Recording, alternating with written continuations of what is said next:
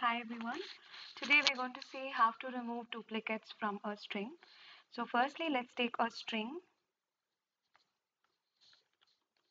I'll name it str and I'm going to be giving it uh, value say YouTube. Okay. So in this we have two use. So the expected uh, output is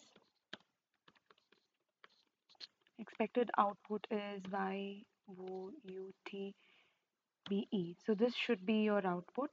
So for this concept, we're going to make use of um, hash set. So hash set uh, will not accept, you know, duplicates. So that's the reason we are making use of this. So hash set character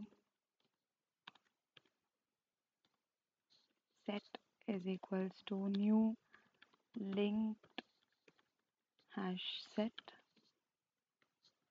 So let's take its length uh, as minus 1 of the string's length because we are going to avoid null. So in order to just uh,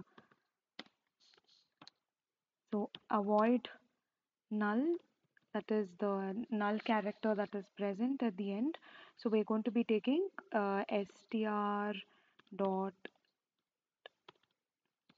length minus 1. So let's do that.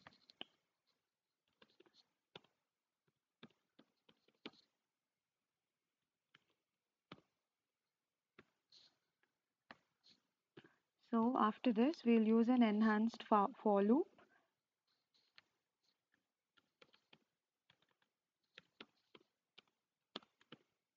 And we'll iterate through that str, through that string. Okay. So str dot to char array.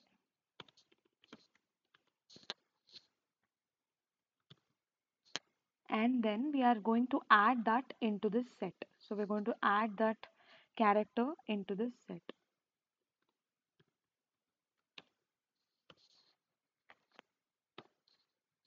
Okay, so now it's the time for printing the output. So we'll use another enhanced for loop and we'll iterate through this set. Okay, char output str.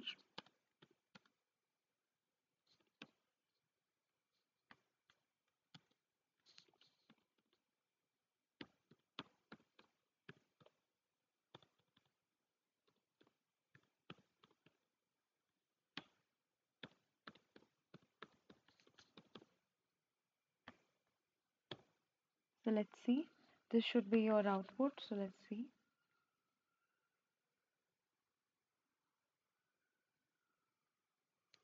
Sorry, what's happening? Okay, I just missed uh, A over here. So yeah.